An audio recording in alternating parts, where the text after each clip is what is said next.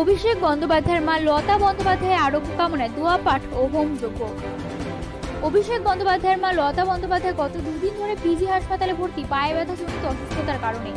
বহু মানুষ অভিষেক বন্দ্যোপাধ্যায়ের মাকে দেখতে গেছেন পিজিতে এবং ওরা দ্রুত আরোগ্য কামনা করতে পূজা, অর্চনা, দোয়া ইত্যাদি করছে নিজের মতো করে। ঠিক এমনই চিত্র ধরা পড়ল আমাদের ক্যামেরায়। ডোমজুর বিধানসভা কেন্দ্রের তৃণমূল যুব কংগ্রেসের পক্ষ থেকে মাননীয় শ্রী অভিষেক বন্দ্যোপাধ্যায়ের মা লতা বন্দ্যোপাধ্যায়ের দ্রুত আরোগ্য কামনায় একই স্থানে একই সাথে হোমযজ্ঞ এবং দোয়া পাঠ আয়োজন করা হলো। এই আয়োজনের ব্যবস্থাপনায় ছিলেন ডোমজুর বিধানসভা কেন্দ্রের তৃণমূল যুব কংগ্রেসের নেতা নুরাজ মোল্লা। তিনি সংবাদ মাধ্যমকে জানান, এই হোম এবং দোয়া একই সাথে করার উদ্দেশ্য বাংলার শিক্ষা সংস্কৃতি সৌহার্দ্যপূর্ণ, এই সম্প্রদায়ের সৌভাতৃত্বকে জনসমক্ষে জানানো। এই বাংলা রবীন্দ্রনাথ এবং নজরুলের বাংলা। তাই এইরূপ নজিরবিহীন ঘটনা দৃশ্যমান থাকবে আগামী দিনে এই বাংলায়।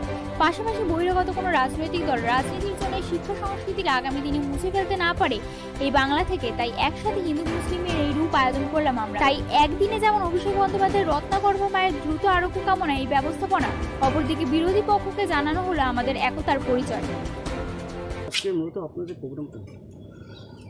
গতকাল আপনারা দেখেছেন বিকেলবেলা রত্নগর্ভা, মাননীয়া লতা ব্যানার্জি, অভিষেক বন্দ্যোপাধ্যায়ের মা, পিজিতে ব্যথাজনিত, পায়ের ব্যথাজনিত রোগ নিয়ে ভর্তি হয়েছে।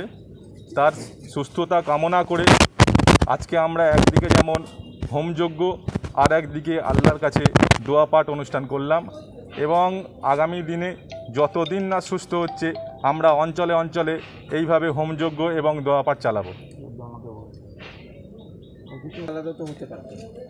না, দেখুন, বাংলার একটা কালচার রয়েছে। এখানে হিন্দু মুসলমান একসঙ্গে বসবাস করে। তাই কোনো এখানে বিভেদ নেই। বাংলার সংস্কৃতিকে বাংলার সংস্কৃতিকে বহাল রেখে একদিকে দোয়াপাঠ হলো এবং একদিকে হোমযজ্ঞ হলো। তাহলে এটা দিয়ে কি দেখা যাচ্ছে যে পশ্চিমবাংলার সমিতি হিন্দু মুসলিম সব এক এক। অবশ্যই। পশ্চিমবাংলার কালচার হিন্দু মুসলমান যে এক ভা- একসঙ্গে এখানে বসবাস করে এটা রবীন্দ্র নজরুলের বাংলা সেটা বার্তা দেওয়া হলো।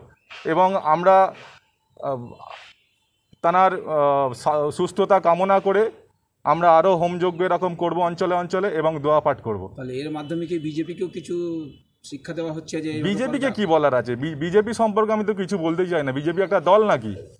বিজেপি তো একটা সাম্প্রদায়িক সংগঠন। ওর ও বিজেপির ব্যাপারে আমরা কোনো মুখ খুলতে চাই না।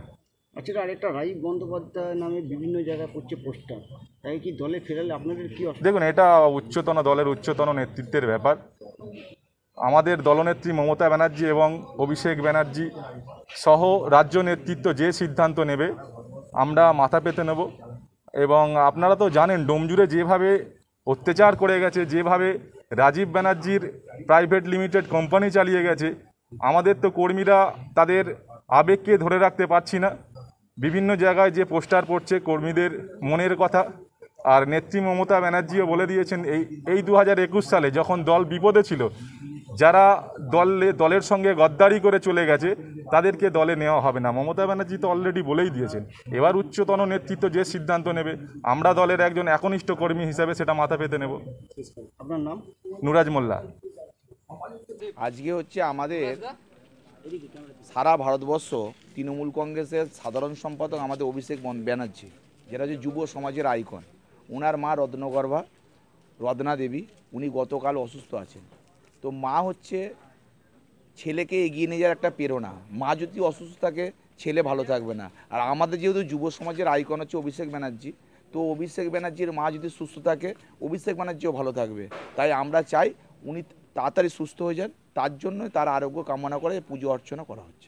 মেন হচ্ছে ওই যে অভিষেক ব্যানার্জির মা, ওনার কালকে কোনো পায়ের ব্যথার এর কারণে পিজিতে ভর্তি আছে। ভর্তি থাকার জন্যে আমরা সুস্থ হওয়ার জন্যে আমরা হিন্দু, মুসলমান এক হয়ে ওনারা কিছু পুজো করল, আমরা কিছু দোয়া করলাম, আল্লাহর কাছে দোয়া করলাম, যাতে আল্লাপাক সুস্থ করে দেয়, এই জন্য আমরা ইয়ে করলাম।